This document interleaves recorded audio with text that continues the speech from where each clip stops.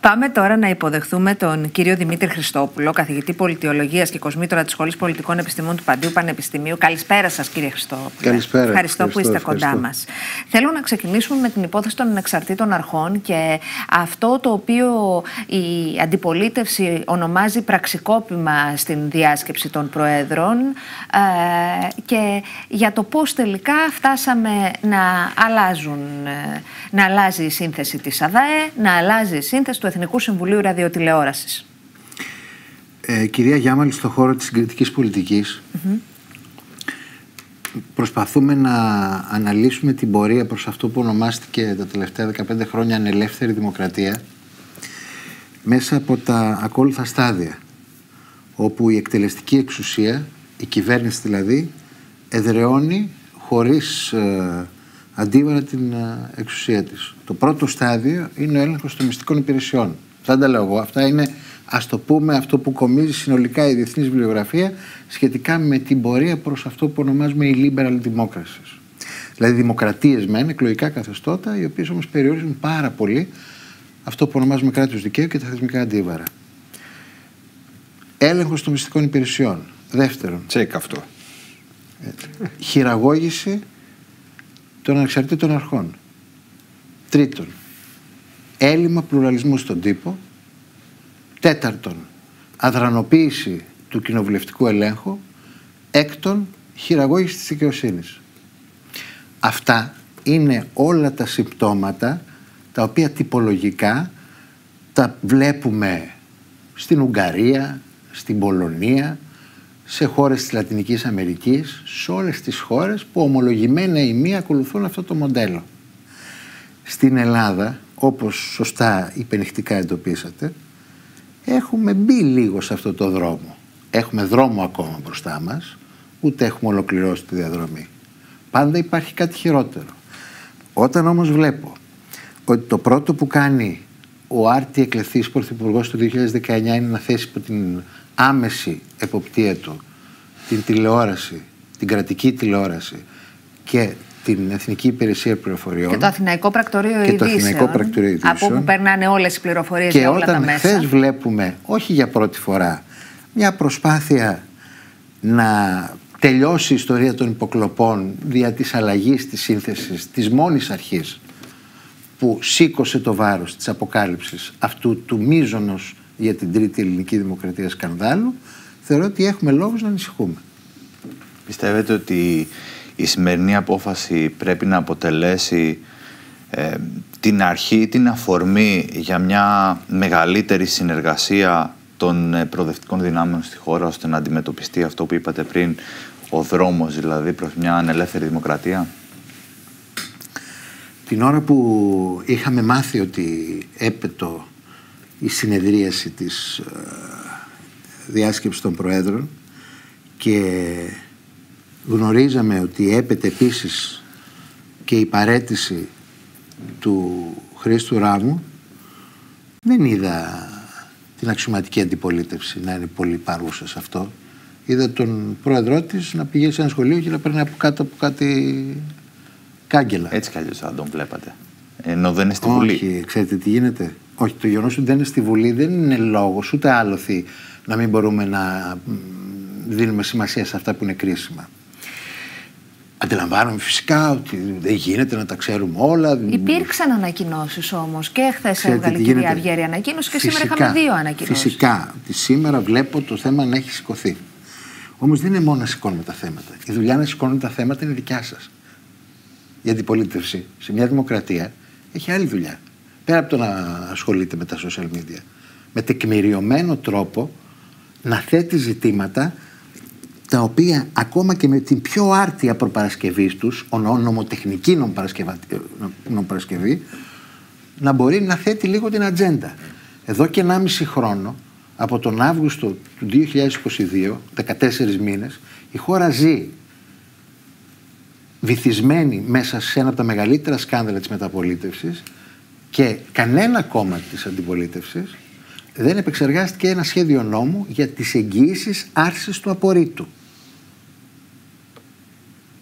Έχουμε δηλαδή την κυβέρνηση η οποία νομοθέτησε μετά το σκάνδαλο προσπαθώντας να ρίξει στάχτη στα μάτια τα δικά σας και τα δικά μας, ουσιαστικά μην αλλάζοντας τίποτα, κάνοντας, θεσμοποιώντας μάλιστα κάποιες από τις παρανομίες που γίνονταν και φυσικά φτάνουμε στο χθεσινό όπου απροσχημάτιστα η διάσκεψη των Προέδρων της Βουλής, που ούτως ή άλλως είναι και ένα όργανο το οποίο δεν είναι ακριβώς χέρι και της υψηλότερης, ας το πω έτσι, νομικής περιοπή, μόνο ότι αναγνωρίζεται και στο Σύνταγμά μας, προβαίνει σε αυτήν την αλλαγή.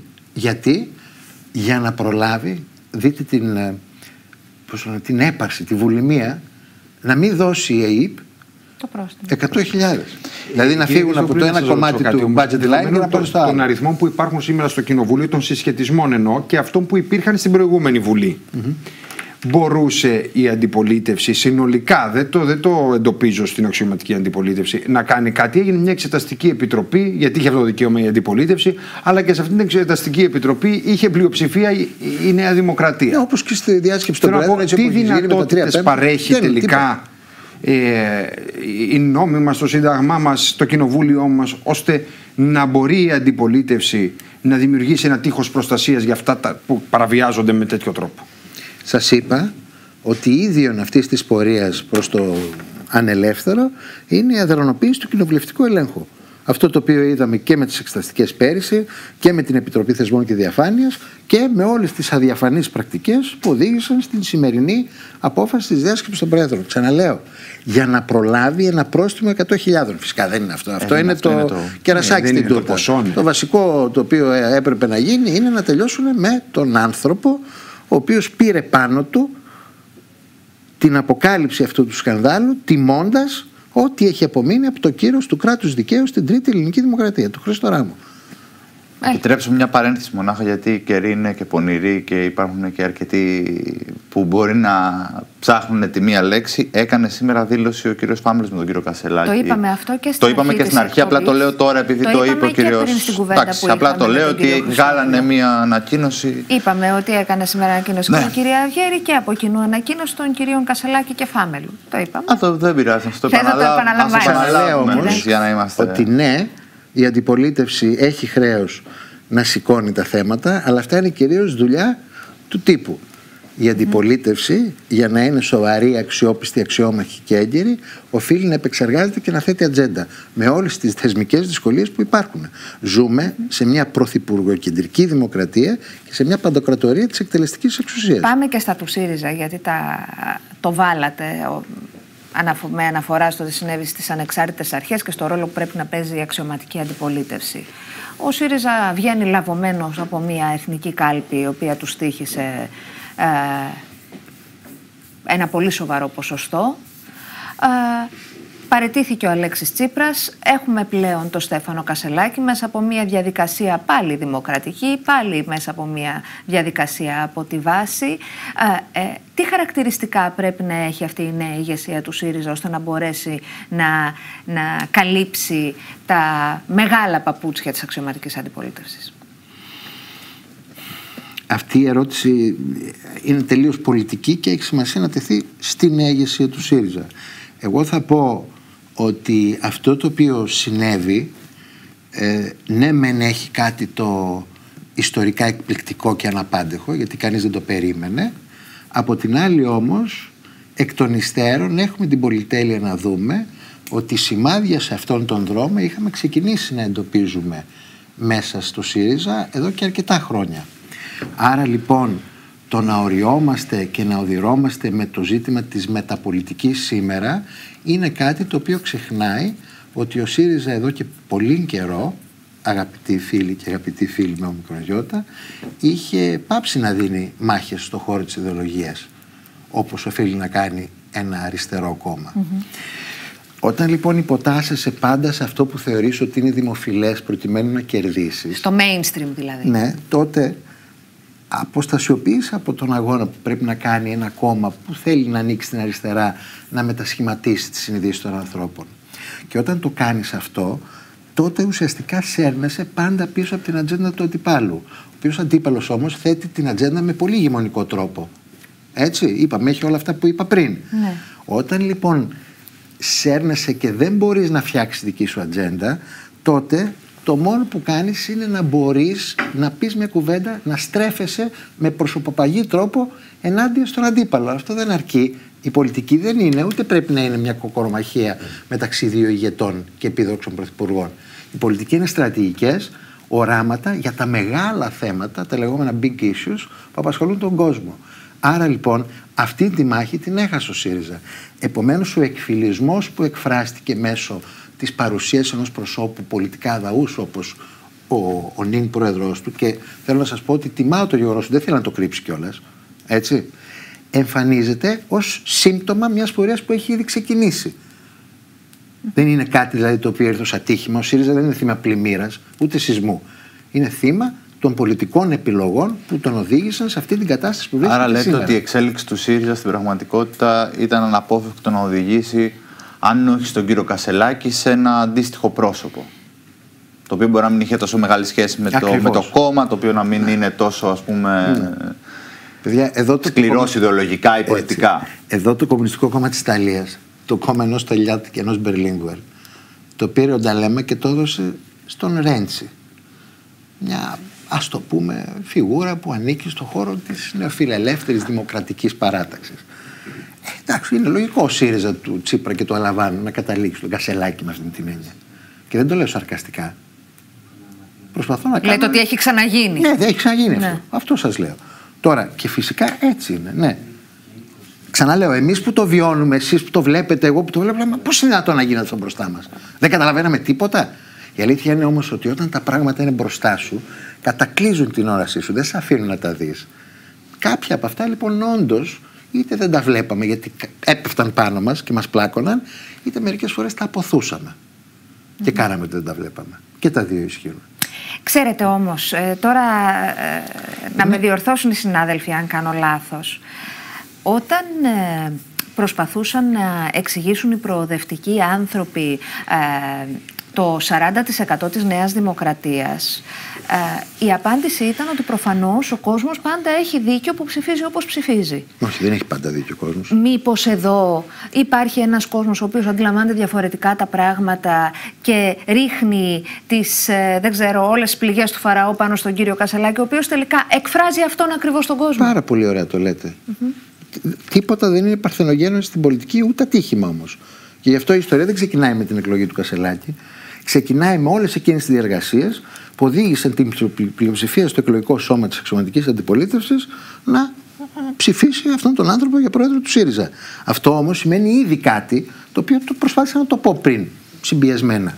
Ε, για τον λόγο αυτό σας είπα, μακριά από μένα η οδύνη εξαιτίας ή εναντίον της υποτιθέμενης ή της πραγματικής μεταπολιτικής του νυν Προέδρου του ΣΥΡΙΖΑ. Μεταπολιτική ο ΣΥΡΙΖΑ είχε εθιστεί στο να ασκεί αρκετά πριν από τον Κασελάκη. Οπότε ο Κασελάκης ήρθε σαν μια λογική διέξοδος σε όλη αυτή την κατάσταση. Και να σας πω και κάτι άλλο, και κλείνω. Η απαξίωση και η αποστροφή των ανθρώπων εναντίον των παραδοσιακών πολιτικών ελίτ αριστερά και δεξιά πρώτον δεν είναι ίδιον της Ελλάδας ούτε της αριστεράς είναι ίδιον όλων των δημοκρατικών καθεστώτων της Δύσης ο κόσμος βαριέται κουράστηκε να βλέπει τους ίδιους βαρέθηκε να βλέπει την καμαρίλα που α- παλαιότερα στην οποία ασκούσε την έδειχνε την αφοσίωσή του πλέον το πράγμα έχει αλλάξει Θέλει καινούρια πρόσωπα ο κόσμος. Όσο υψηλότερο επικοινωνιακό χάρισμα έχουν αυτά τα πρόσωπα, τόσο περισσότερα εισπράττουν. Πρόσωπα Προσέξτε είναι όμως, αντιπολιτικής λέτε. Πρόσωπα που έχουν επικοινωνιακό χάρισμα, το οποίο όμως δεν είναι ίσο με την, επικοινωνια- με την πολιτική στρατηγική. Άλλο χάρισμα, άλλο Και- και- στρατηγική. και Να σας πω κάτι. Ο, ο κύριος Μητσοτάκης είναι ένας άνθρωπος ο οποίος έφερε για τα καλά την επικοινωνία στην πολιτική. Παρόλα αυτά, εξελέγει το 2016 στην ηγεσία της Νέας Δημοκρατίας, το 2019 έγινε πρωθυπουργός και παραμένει σήμερα. Παρότι συνεχίζει, κατά τη δική μου άποψη, να βασίζει τα πάντα στην επικοινωνία, ταυτόχρονα παράγει και μια πολιτική, η οποία κρίνεται θετικά ή αρνητικά από τον καθένα. Ναι, πάντως έχει Αλλά ατζέντα. παράγει πάντως μια Φυσικά. πολιτική. Και μάλιστα Αυτό που κατά έκανε τη γνώμη χτες μου σήμερα με δημιουργεί, την, ε, ΑΔΑΕ, δημι- πολιτική. δημιουργεί και πολιτική ηγεμονία αυτή τη στιγμή. Γιατί δε- να μην είναι η, η, η λύση σε αυτό κάτι αντίστοιχο από την άλλη πλευρά; Γιατί θεωρούμε ότι ο κύριος Κασελάκης ενδεχομένως δεν μπορεί να παράξει πολιτική; Εγώ δεν είπα ότι δεν μπορεί να παράξει πολιτική. Συγγνώμη. Δεν, μην- δεν με ακούσατε καθόλου να λέω κάτι τέτοιο. Όχι, όχι, δεν το είπατε. Κάνω μια ερμηνεία. Εγώ έχετε δίκιο. Όχι, πάντως δεν το είπα. Ναι, Θέλω όχι, να είμαι ασφαλώς. σαφής. Εγώ μάλιστα είπα ότι αυτό δεν είναι μεταπολιτική. Εάν κάτι πρέπει να είναι μεταπολιτική, δεν πρέπει να το προσωποποιούμε μόνο σε αυτόν. Πρέπει να βλέπουμε συνολικά μια πορεία, η οποία έχει ξεκινήσει νομίζω από το καλοκαίρι του 2015. Αλλά αν θέλετε, μπορώ να το επεκτείνω μετά. Τώρα, η απάντηση στην επικοινωνιακή υπεροπλία ή στην έμφαση που δίνει ο Κυριάκος Μητσοτάκης στις τεχνικές επικοινωνίες μπορεί να είναι ο, ο Στέφανος Κασελάκης, Κασελάκης. Δεν ξέρω. Να σας πάω ακόμα πιο δύσκολα. Δεν ξέρω δηλαδή ποια θα είναι η κοινωνική απήχηση του νέου πρόεδρου του ΣΥΡΙΖΑ, ούτε εσείς το ξέρετε. Ε, Κανένας. Ακριβώς. Βρισκόμαστε σε μια στιγμή που η ιστορία κεντάει, αγαπητοί φίλοι. Κεντάει η ιστορία. Μας, μας διαλύει εκεί που θεωρούμε. Δηλαδή, δεν ξέ, δηλαδή είμαστε σε μια φάση απόλυτης. Βλέπουμε την ιστορία μπροστά μας και είναι το απόλυτο θρίλερ. Και είμαστε κι εμείς μέσα σε αυτό. Αυτό την κάνει πιο παράξενη. Είμαστε εκθέματα αυτού του θρίλερ. Και εσείς ως κομμάτια του, του, του, της ευρύτερου επικοινωνίας. πάζλ. Βεβαιότητες που μπορεί να είχαμε όλοι μας, έτσι Διανοούμενος, καθαρίσαμε. αριστερός και όλοι μας. Άρα λοιπόν, εδώ δεν ξέρουμε τι θα γίνει. Με ρωτήσατε αυτό που σας βρίσκα. Σας λέω με παρουσία, δεν ξέρω. Λέω δηλαδή ότι υπάρχει περίπτωση αυτό το οποίο εκφράζει το νέο κλπ. κλπ όντως να πετύχει. Και να πάμε σε εκλογέ και την διαφορά των 20 ποσοστιαίων μονάδων που χωρίζει τη Νέα Δημοκρατία από το, από το ΣΥΡΙΖΑ να την κάνει 15. Και έρχεται, 12. έρχεται μια μερίδα κόσμου εδώ πέρα λοιπόν εντός ΣΥΡΙΖΑ και λέει Βέβαια, ότι όσο αριστερό, μιλάει, συγγνώμη, όσο Εννοείται, μιλάει, νιώθω εννοείται. ότι καμιά φορά μ, δεν θα γίνει αυτό. Αλλά δεν ξέρω. Πραγματικά έχω την Μάλιστα. αίσθηση ότι το- το να φαίνεται κάποιος ότι είναι αστοιχείωτο δεν λειτουργεί και καλά εναντίον του. Και έρχεται εδώ λοιπόν μια Είμαστε μερίδα. οριακά εκτός χρόνου. Κάτω γρήγορα. Πολύ γρήγορα. Έρχεται μια μερίδα Ναι, αλλά έχουμε. ε, κόσμου εντός του ΣΥΡΙΖΑ η οποία λέει ότι αριστερό είναι αυτό το οποίο μπορεί να κερδίσει τη δεξιά και να ξαναφέρει το ΣΥΡΙΖΑ στην κυβέρνηση. Και ότι πλέον δεν χρειάζεται ο ΣΥΡΙΖΑ αδιέξοδες συζητήσεις μεταξύ αριστερών οι οποίοι προσπαθούν να κλείσουν ε, το, το κόμμα στην ε, φωλιά του 3% της ριζοσπαστικής αριστεράς. Το νέο, επειδή είναι νέο, έχει κάτι ενδιαφέρον. Αλλά το νέο να είναι και ό,τι να είναι, δεν είναι αυτό που αφορά τουλάχιστον την δική μου αντίληψη για την πολιτική. Κάθε τι αξιολογείται όχι μόνο με βάση τις επιδόσεις του, αλλά με βάση την στράτευσή του στο να μπορεί να θέτει μια ατζέντα που έχει να κάνει με αυτό που εγώ αντιλαμβάνομαι ως πολιτική που πρέπει να έχει ένα κόμμα της αριστεράς. Ξαναλέω λοιπόν, ένα, δεν ξέρουμε αν θα χάσει ή θα κερδίσει ακόμα. Υπάρχουν στοιχεία που δείχνουν και τα δύο. Ο κόσμος αποστρέφεται το παλιό και στον ΣΥΡΙΖΑ. Εγώ προσωπικά και το είχα πει και στον συνάδελφό σας, τον κύριο Χαρίτο, προ μιας εβδομάδας, 15 Βέβαια. ημερών που ήμουν εδώ, είχα πει ότι περίμενα ότι και στην Ελλάδα θα εμφανιστούν κάποια στιγμή τέτοιες πολιτικές προσωπικότητες έξω από την πολιτική να εκφράσουν αυτό το νέο. Εκεί που με βρήκε απροετοίμαστο η πανουργία της ιστορίας είναι ότι δεν περίμενα να συμβεί στην αριστερά. Περίμενα ότι το κάνει η δεξιά. Αλλά η δεξιά, όπως πολύ σωστά είπατε, κύριε Ραβαντινέ, έχει το Μητσοτάκι. Το καλύπτει. Μάλιστα. Να σας ευχαριστήσω πάρα πολύ κύριε Χριστόπουλε για την ενδιαφέρουσα συζήτηση.